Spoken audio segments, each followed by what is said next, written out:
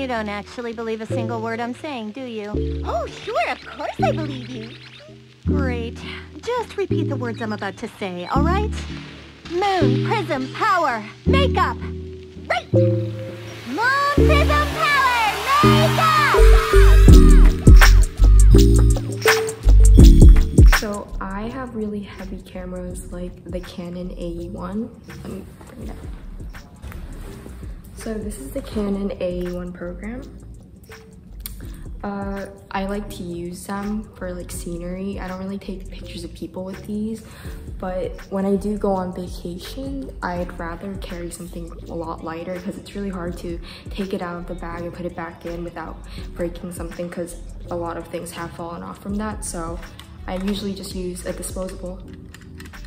So I just want to give you guys maybe like three or four tips on how to use them because I've made plenty of mistakes with them even though these are supposed to be easier to use than the like the Canon A one. so let's start.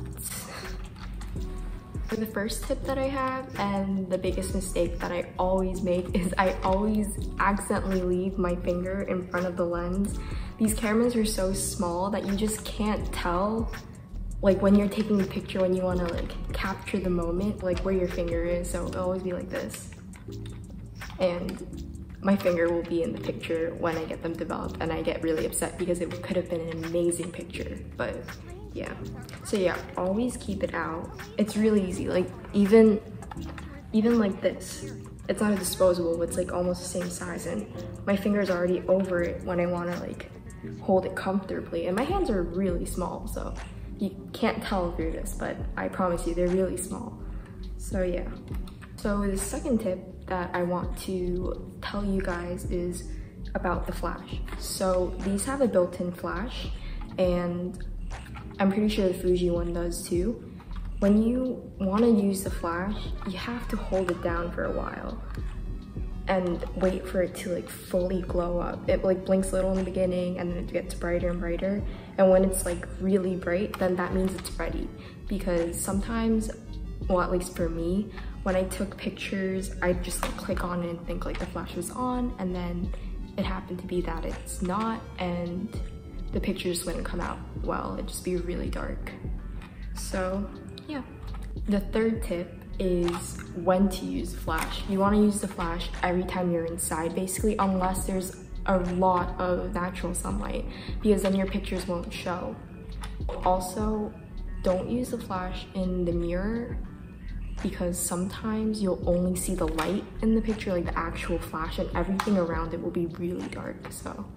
A fourth tip that I usually do is that I always keep the next picture reeled after I take the picture because usually I want to take pictures really spontaneously, especially when I'm on a trip. So I just want to take it out and like not lose the moment and just shoot.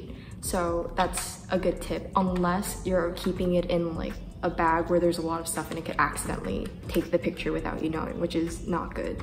I think, yeah, I think I only have three tips, so um, whoever asked for this video, there you go. Those are my tips. I can give advice on other cameras, but I think I need more experience with them before I tell you guys how to use them, so yeah.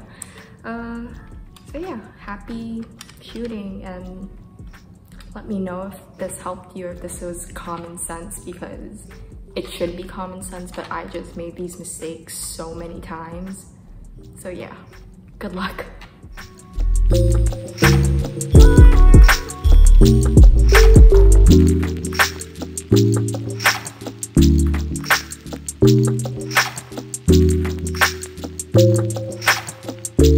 Strange things are happening in this city. Even the police can't handle what's going on.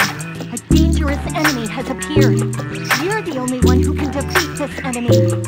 You're the guardian that's been chosen for this mission.